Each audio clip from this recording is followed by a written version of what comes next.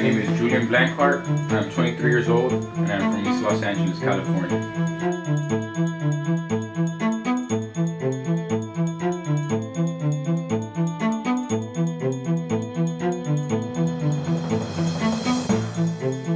And growing up, my parents, they worked two jobs. Well, my dad worked one job and my mom worked two jobs provide for the family and sustain a household.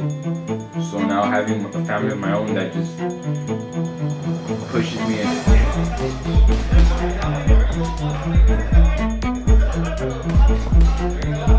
and it just gives me that that crazy hunger for, for success and just to dominate in the sport.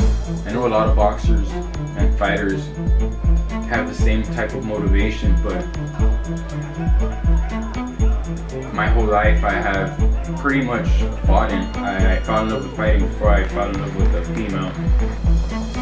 That honestly uh, is on my mind all day and, and just dedicating myself every minute when it comes to eating, timing, everything is to succeed in the sport, to succeed in, in becoming a, a world champion.